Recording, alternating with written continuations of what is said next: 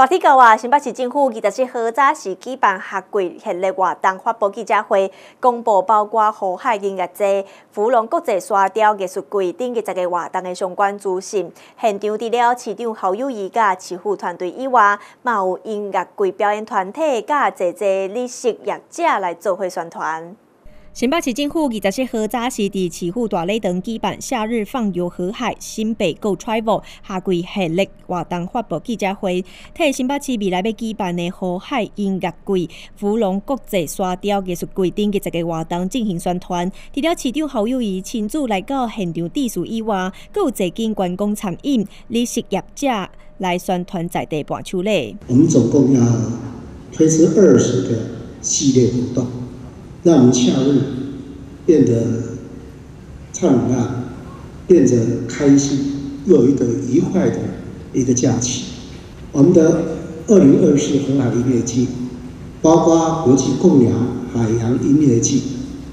淡水渔舞河岸音乐季，这两个大活动，就是让我们独立音乐团体可以有一个展现的舞台。我们特别把夏日放游河海这一系列活动整理起来，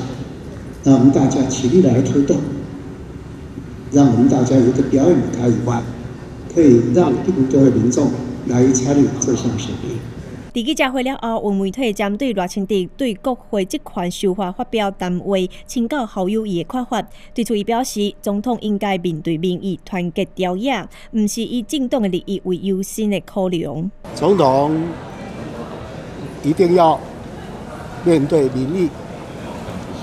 绝对不可以以政党利益为优先，而团结朝野，让福国利民的政策。能够往前走，尤其在新立的过程当中，除弊非常重要。民力需要一个除弊，让很多事情能够透明清楚。有待我们政府用这个力量来团结所有的国人，让很多新立成功的案子一个一个展现